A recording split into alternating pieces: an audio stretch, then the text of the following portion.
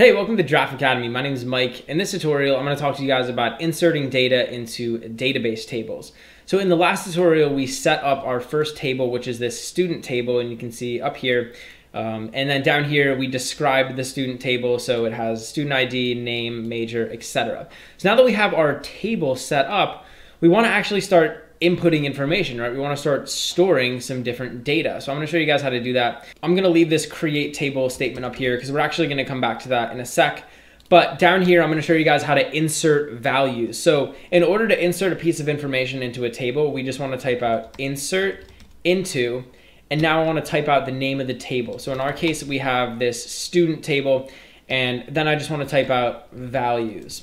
So basically we're saying insert into the student table the values, and then over here I'm gonna make an open and close parentheses and a semicolon. So now this is actually a full statement. So remember, we need to end this off with a semicolon. Inside of these parentheses, I can actually put the information that I wanna store. So the way that the table is set up, we have the student ID first, then the name, then the major. And that's the order that we want to put this information into the table. So I need to put the student ID first, the name, and then the major. So over here, I'm just going to type in the student ID so we're going to be actually entering in the same information that we have over here. So this is kind of like our little template. So we have uh, the first student, Jack, who's a biology major, and student ID is one. And you can see we just keep going from there. So I'm going to insert, you know, roughly this same information. So the first thing we want to do is put the student ID. So that's going to be one. And you'll notice that with an integer, I can just type out the number one. And then over here, we're going to put in a varchar 20. So basically, this is going to be a string. Anytime we're typing out strings in uh, SQL, we're going to make these double quotation marks. And then in here, we can type out the string. So the student's name is going to be Jack. And then another comma, and we're going to put in his major, which is biology. So we have Jack with a student ID of one, and his major is biology. So insert into student values one Jack biology. This is gonna go ahead and insert this value into the database table. So now when I click run, and you notice all I have to do is just click on this query and then click run. It says down here, success rows affected one. So we affected one row in the student table. So now what we can do is we can actually see uh, how this got inserted into the table. So what I'm gonna do is actually below here, I'm just gonna type out select asterisk from student. And this is actually a very simple uh, SQL command. What this is going to do is it's going to grab all the information from the student table. And we're actually going to spend a whole tutorial just talking about using select. But for now, just know you can type select asterisk from student. And this is going to go ahead and give us all the information from the student table. So I'm just going to click on this query here and I'll click run.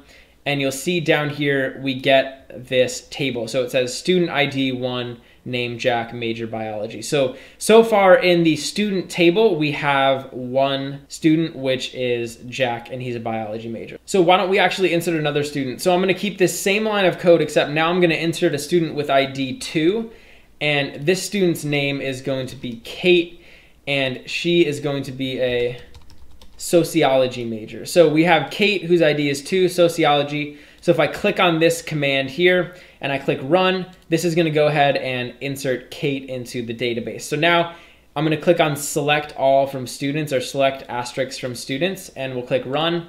And now you can see we're getting all the information from the student table. So we have Jack and then we also have Kate. So we added in so far we've inserted in two people into there. So what you could do is you could basically use this same format in order to keep inserting students into the student table, right? As long as you have their uh, ID and you have their name and their major, then everything is good. But I wanna show you guys another thing we can do. So let's say there was a situation where we had a student who didn't have a major, right? Maybe they just, you know, had no major and or we didn't know what their major was, so we couldn't insert it into the database. Well, in a situation like that, we could actually modify this statement a little bit. So I could say insert into student, and then after student here, I can make an open and close parentheses, and I could type out the names of the columns or the names of the attributes that I have or that I want to insert. So I could say like student ID and then name. So you'll notice that I'm not including major in here. And what that means is that over here in this value section, we can include the student ID and the name, but we don't have to include the major. So like if I don't know what the major is, like I can't obviously put anything there. So by saying student, open and close parentheses, and then specifying the two attributes that I do have, I can then just put them over here and I won't get an error by not including it. So now we can change these values. So we'll change the primary key to three and then let's see who the next student in our database is. So it looks like it's Claire. So we'll have Claire and then we can go ahead and run this query and you'll see rows affected one. So we added in another row. But if I was to select all this data, so I'm gonna click select again and I'm just gonna click run.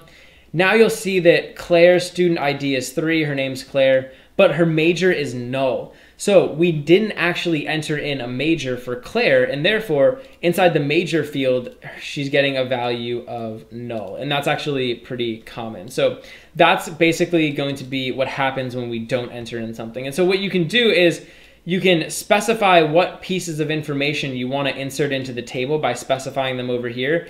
And then here in the values section, you just have to add those pieces of information. So that's two ways that you can insert something into a database table. And it's important to notice that you can't insert duplicate entries. So if I was to try to insert this again, you'll see that the primary key is still three, which means I'm not gonna be able to enter this record in because a record with that primary key already exists inside the table. So if I was to click run again, you'll see I'm getting this error. It says duplicate entry three for key primary. Basically what that means is we have a duplicate key and it's not going to work. But if I was to change this to four, so instead of uh, having an ID of three, it's four. Now this is going to work, and we'll be able to see we have two entries with Claire, but they have different student IDs, so we're all good to go.